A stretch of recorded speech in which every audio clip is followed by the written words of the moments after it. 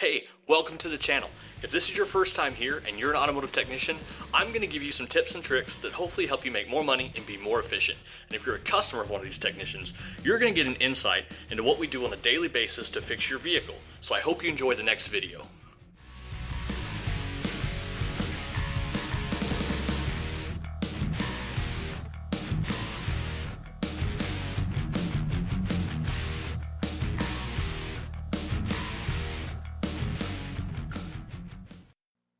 Alright guys, today's flash is on the 2007 Honda CRV with a 2.4 liter. This uh, screen capture was actually recorded early 2017. Although the rewrite software is now part of iHDS, the process is nearly identical. So make sure, just like all flashes, we start with a clean power supply and a work area free of clutter. You don't want to be tripping over the cables. Uh, for Honda of this era and most Hondas, uh, 13.5 volts is what I would recommend for your flashing voltage. And be sure to use a voltage stable power supply, not a amperage stable power supply.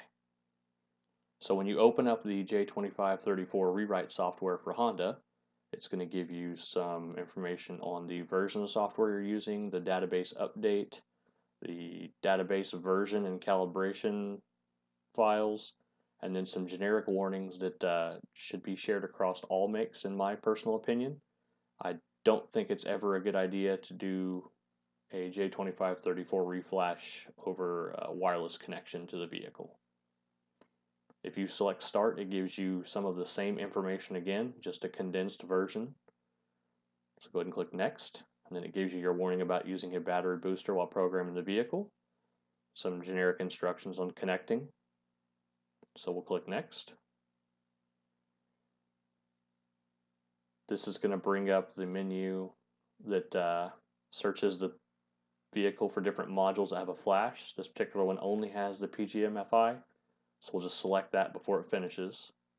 This gives us our current programming ID, the available system that is available for update, the program ID that's currently on that, uh, and the part number that's currently associated with that program ID, then some model and update information. This vehicle is for a P0128 specifically. After you select next, it gives you your final press enter before it actually starts the flash process. Once you select enter, it actually starts the flash. Now, as I already stated, this was for a P0128. This vehicle had freeze frame data and actual diagnostic data backing up that we needed to complete this flash before we went any further with this particular diagnostic, considering how intermittent the code was. After the flash is complete, it'll ask you to cycle the key off. So we'll do that. And then it will give you a 60 second timer to cycle the key back on. This is just providing your power down and power up of the module, basically like a restart. After that's completed, it gives you a uh, little notice showing what the previous program ID and the current program ID are.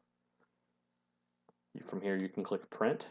If you do that, it will give you a printout to give to the customer, but it, uh, it appears like it's written on Notepad, so there's nothing really special about this report.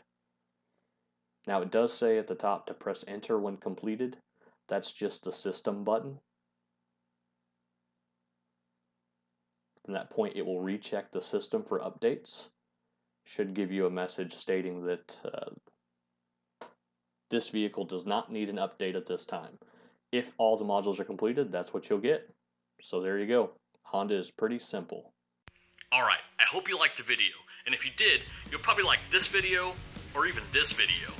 And remember, subscribe, comment below, tell me what you didn't like about it or what kind of videos you'd like to see next, and hit the bell icon.